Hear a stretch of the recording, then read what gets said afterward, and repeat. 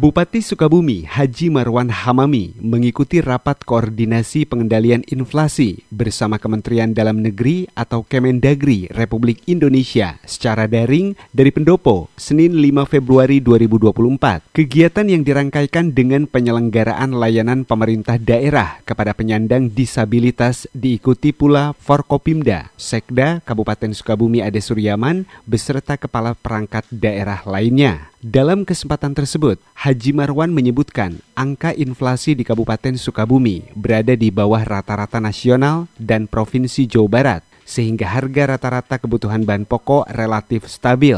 Bahkan untuk beras sendiri, menurutnya sudah sangat cukup untuk kebutuhan masyarakat Kabupaten Sukabumi. Meskipun begitu, pemerintah Kabupaten Sukabumi terus mengantisipasi berbagai hal, terutama mengenai inflasi ini apalagi di musim penghujan ini bisa mempengaruhi stok kebutuhan bahan pokok. Sementara itu, Inspektur Jenderal Kemendagri Tom Sitohir mengatakan angka inflasi di daerah masih banyak yang berada di atas rata-rata nasional, meskipun ada juga beberapa yang di bawah rata-rata nasional. Rutin setiap Senin itu kan ada pembahasan inflasi daerah. Dan alhamdulillah kalau Sulawesi sih sebenarnya di bawah rata-rata nasional di bawah Jawa Barat juga tapi kan itu bukan menjadikan cerminan sebetulnya untuk kita uh, tidak tanggap persoalan.